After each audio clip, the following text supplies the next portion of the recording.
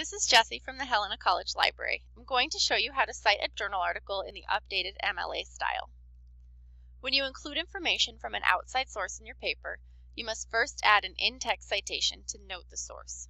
The in-text citation includes two pieces of information, the author's last name and the page number for the information. Let's look at an example. Here's a direct quote from an article. The citation appears in parentheses at the end of the sentence, after the closing quotation mark, and before the period. The first part of the in-text citation is the author's last names. Find them near the title of the article. For three authors, list the first name followed by et al., which is Latin for and others.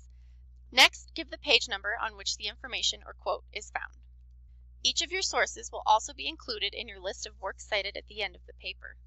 Your list of works cited provides the full citation for each source with enough information for a reader to find it. You should be able to find all of the information you need on the first page of the article and on the entry in the database for the article. This is usually where you found the link to the PDF file of the article from the library. Let's take a look at a basic citation. Remember to pay careful attention to all punctuation, spacing, and formatting that you see in citation guides. The first part of the citation is the author's names. For an article with three authors, give the first author's name followed by et al. and a period. The first author's name will be given as last name, comma, first name, middle initial, or name.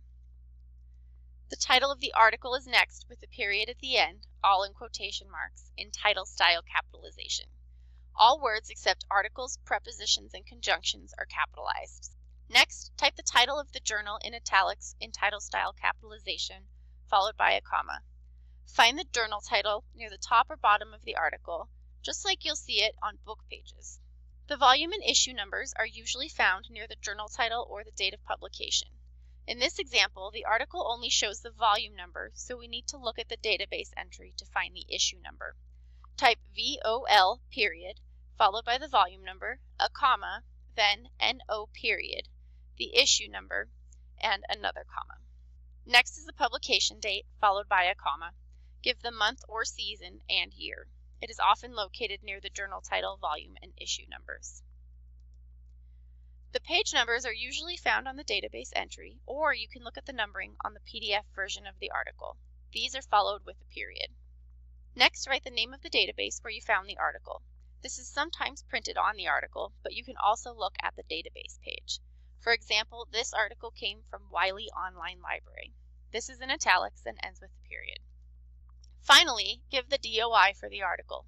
This stands for Digital Object Identifier and is a unique number assigned to the journal article. You can find this on the database page or on the article near the volume, issue, and date. And this is our complete citation. Remember, your in-text citation will direct the reader to the full citation in your list of works cited, so make sure the names are the same. Your citations will look a little different for each article. Refer to a pocket style manual or the Purdue OWL website for more guidelines and examples on how to cite a journal article. And don't hesitate to contact your Helena College Library with any questions.